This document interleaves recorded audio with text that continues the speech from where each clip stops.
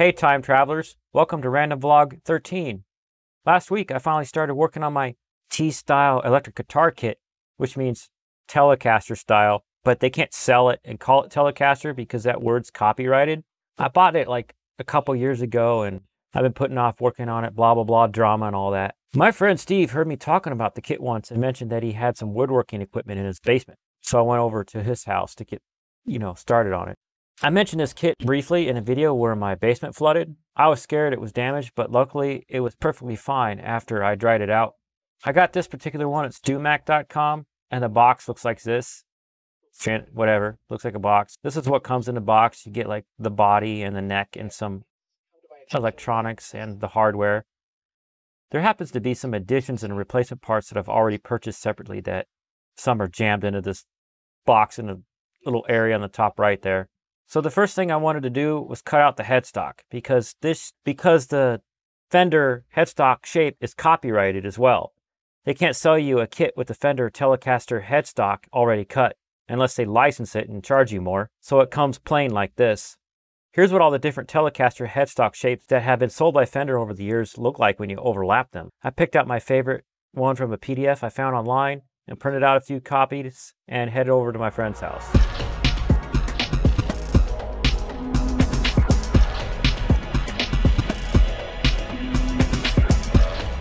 The first step was to cut out the shape in the printout I did, then rub a pencil on the back so later when I trace it onto the wood, it will put a mark. We thought we were genius faces doing it on this side because it was flat. Then my friend Steve realized that the flat side was going to be facing down on a scroll saw and we wouldn't see the line. Oops. Luckily, I printed out extra copies of the blueprint. So I cut out another one, did a pencil rubbing, and we did the struggles of positioning it on the not flat side I mean the top side, and traced it there. Finally, I took the paper off and traced the line again so it was darker. Steve showed me how he set the thing on a scroll saw so it holds the wood down so it's a little hard to push the wood into the blade so that you don't push it too fast. He also showed me the speed control and we talked about a strategy for cutting it. I made some straight cuts first to get some of the wood out of the way. Random fact, I learned how to do woodworking when I was a kid in my grandpa's garage, but he didn't have a scroll saw. This is way easier than using what I used back then, which is a bandsaw.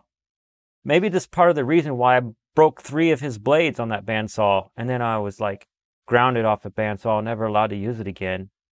Dear face. So then I did some curved cuts, which each cut getting closer to the shape. And if anyone is asking or thinking, what's that thingy Steve is holding? It's a Blowimatron what's it that blows the sawdust away. Anyways, in the end, we had the rough shape of it. Then we used a rotary tool to sand down the jagged edges of the cuts, you know. This B-roll was from my basement, lol. I didn't think of doing B-roll of his rotary tool at the time. Oops, sorry. A rotary tool is commonly referred to as a Dremel, even though Dremel is just a brand and people call things by a common brand name sometimes instead of calling it what it is, which is confusing. With the remote extension arm thingy, that makes it easier to control the angle of the sanding and a sanding drum, obviously. Then I had to do the sanding. Steve had the brilliant idea of going outside to the porch to do it. No, it was a good idea. Shut up. Shut. I'm not being sarcastic. No. It's so we can have good light and also sit down. I only use the 220 grit sandpaper for this part because I can do the more fine grits later when I'm finishing up the guitar. And this is what the headstock looks like now. Smooth and beautiful. Charlie, you know, this guy, that's on, on my channel sometimes. He asked me to if he could have a PlayStation 2. So I decided since I had a stack of them, he could have one. I had a PS2 Slim that's silver that I actually never use. So I'm giving him that one. If you're asking why the accent piece on the top is white, it's because it's swapped with another, um, well, you see. I have four things that look like PS2 Slims. And I swapped around the accent pieces. There's this black one, that's actually a USB hard drive thing I built. See, there's a hard drive. The red one, that's an actual PS2 Slim. And the white one, that's another USB hard drive, what's it thing that I built. See, hard drive.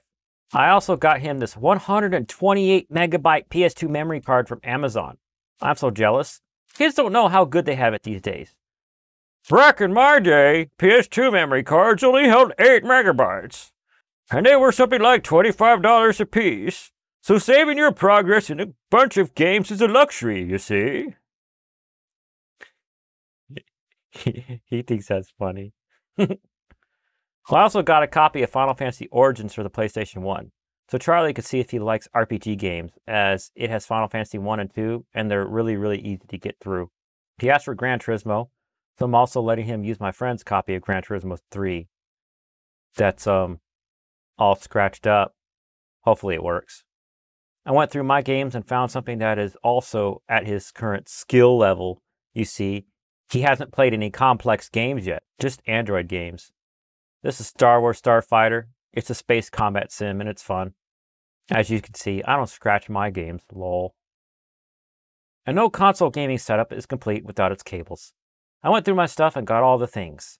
And also got a component cable off of Amazon to get him the best picture quality possible. He says he has a TV at his mom's house in his room and has these connections. I hope he's right. Another thing happened, and this is a tech thing.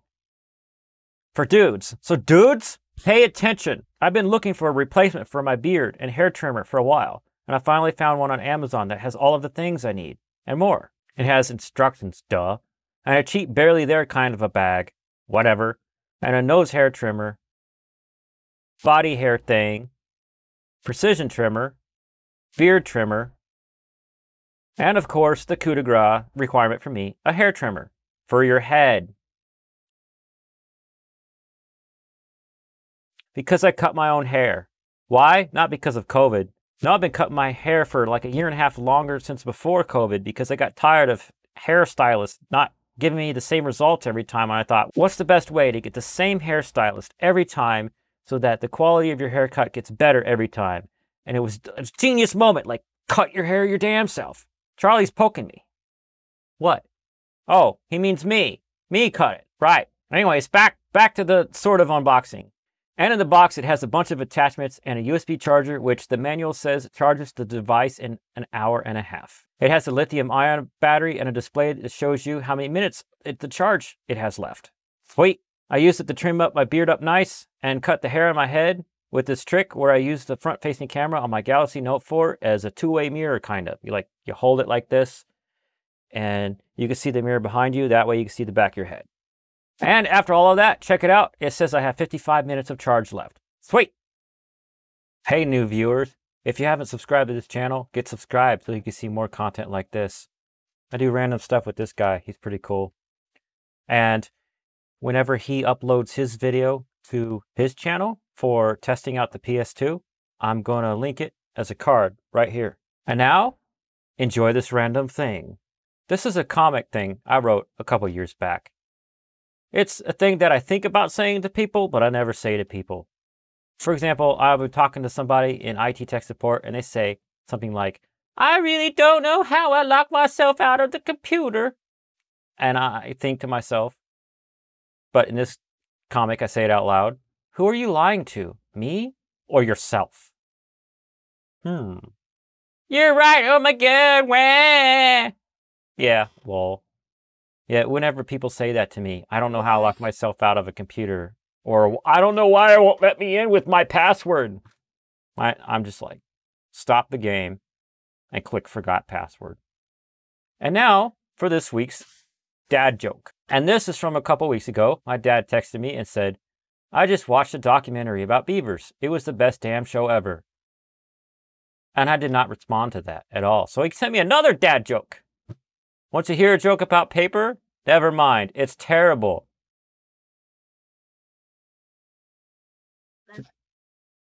Char- you can't hear Charlie because he's not mic'd. He says that that was bad. And that's what I said.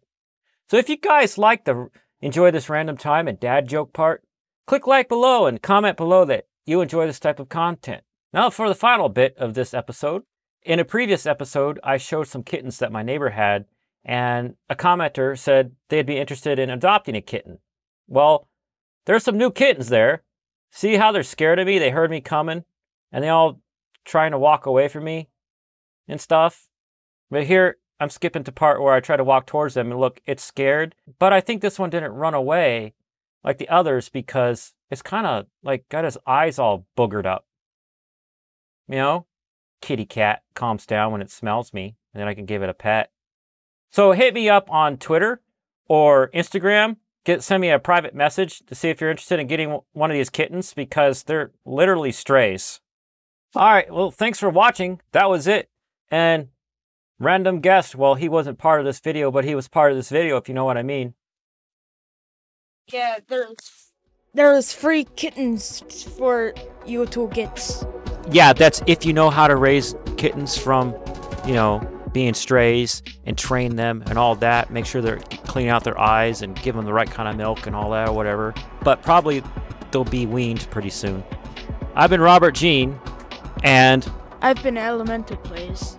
Yeah, he was just a random background character, but now he's talking. But click on one of these videos up here, or you could check out his channel right here, or you can subscribe to my channel right there, or you can hit me on a social networking thing over here.